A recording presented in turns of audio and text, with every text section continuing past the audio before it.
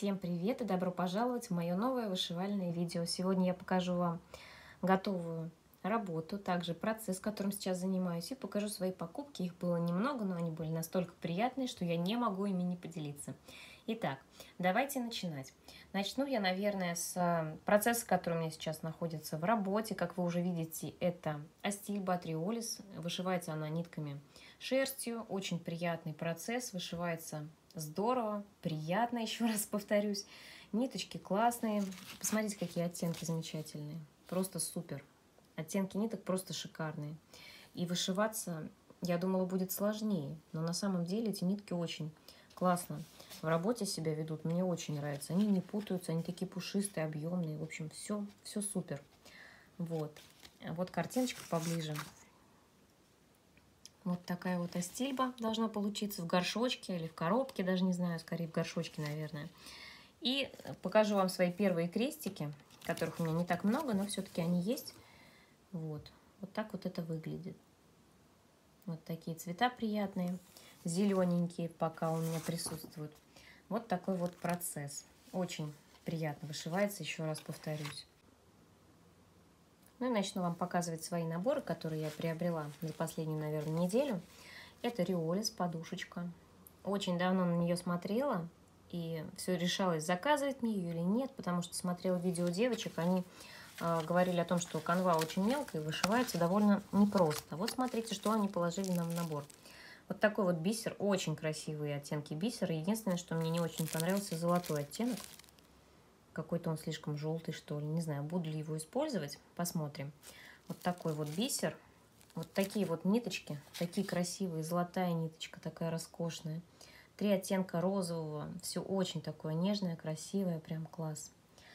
Вот такая вот канва. Она очень по цвету классная, красивая. Такого приятного сливочного, даже скорее кремового оттенка.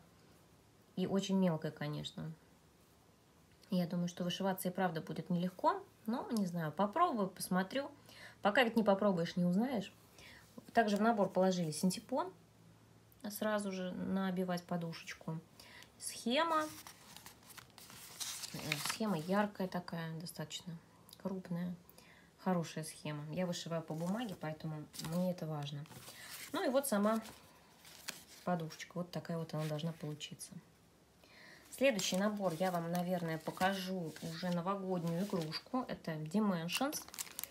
Вот такой вот наборчик. Я заказала его на Wildberries. Заказала два, еще сани должны приехать, но сани пока в пути. Вот. Елочка. Ну, как всегда, наклейка, ничего не видно. Я думаю, что все эти игрушки знают. Показывать особо не имеет смысла. Вот такие ниточки, пластиковая канва. Я его еще не распечатала. Ну, буду потихоньку все вышивать. Вообще, все, что у меня есть, мне очень хочется начать, вот правда. Вот нет ни одного набора, который бы мне не хотелось начать. Где бы столько времени взять? Вот такой вот набор. Так что Сани жду. И будет у меня э, в коллекции в моей в запасах две новогодних игрушки. Так. И последний набор из приобретенных мною совсем вот, ну, наверное, за последнюю неделю, да, это вот этот. Милхил домик. Эта коллекция домиков мне очень нравится. Мне нравится, честно говоря, даже не один домик. Заказала я, знаете, с ним такая история случилась. Пока буду распечатывать набор, давайте я вам покажу. А, расскажу. Значит, заказала я изначально этот домик на Озон. Но вместо домика, который я ждала больше недели, мне прислали ножницы. Представляете?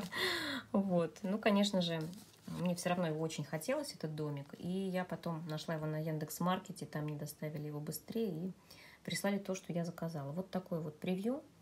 И девочки говорят, что смотрится в отшивах гораздо круче, чем вот на картинке. Ну, в наборе, понятное дело, что инструкция, перфорированная бумага, вот такая. Вот такие вот классные нитки. Единственное, что мне кажется, дороговаты все-таки эти наборы, поскольку Атриолис набор, ну, ничем не хуже. Там уже даже ниточки разобраны, не нужно тратить на это свое время. Просто ведь хочется достать набор и начать его сразу вышивать, а не заниматься там каким-то разбором и организацией. Поэтому, ну, это мое мнение. В отшиве они смотрятся очень классно, поэтому... Наверное, за счет того, что производитель не российский. Вот и все. Вот такая пуговка была в наборе. У меня все в порядке с ней, никаких дефектов, все целое. Фокус был на ней, не знаю. Вот. Теперь точно можно рассмотреть. И вот такой вот бисер. Вот этот. Здесь иголочки лежат сразу. Вот такие оттенки. И вот второй пакетик.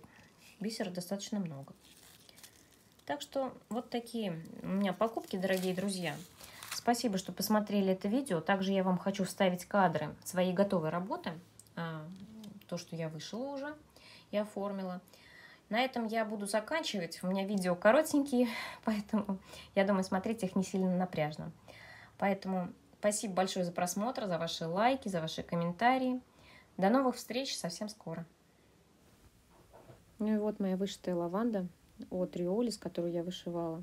Работа совсем небольшая, у нее размер 13 на 18, вышивалась нитками Анкор. Нитками мне очень понравилось вышивать, они не путались, все с ними было хорошо. Единственное, что хотелось мне эту работу видеть в овальной раме, но я как-то не нашла ничего, то, что мне бы понравилось на маркетплейсах, и я вставила в прямоугольную обычную раму, смотрится лаконично, на мой взгляд, тоже неплохо.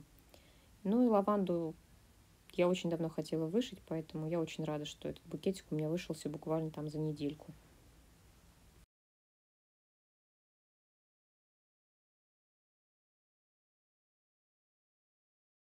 Также вставлю вам кадры наших выходных. Сентябрь радует погодой. На даче очень здорово, очень тепло. Прям четвертый месяц лета. Это мамины хризантемы. Также я вставлю вам кадры вообще все, что растет у мамы на даче. А, ну, не все, конечно, но часть из этого вы увидите в этом видео. Хризантемы, также увидите бархатцы. В общем, поснимала для вас кое-что.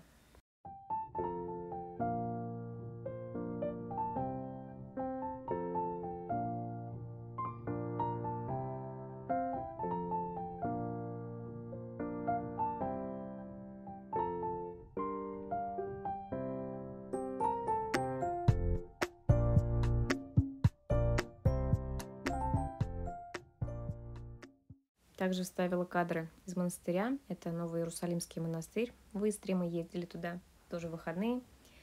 И советую посетить. Это место чудесное. Ну, конечно же, я не могла не вставить эти красивые кадры. Поле ромашек, васильков. Это очень красиво. В сентябре просто вот просто волшебно. Там дальше еще будет видео из леса. Мы с детьми ездили на пикник. Тоже было здорово, классно, тепло общем, сентябрь просто какой-то четвертый месяц лета подарил нам. И это очень здорово, очень классно. На этом я буду заканчивать это видео. Надеюсь, вам было со мной интересно. И до новых встреч. Пока-пока.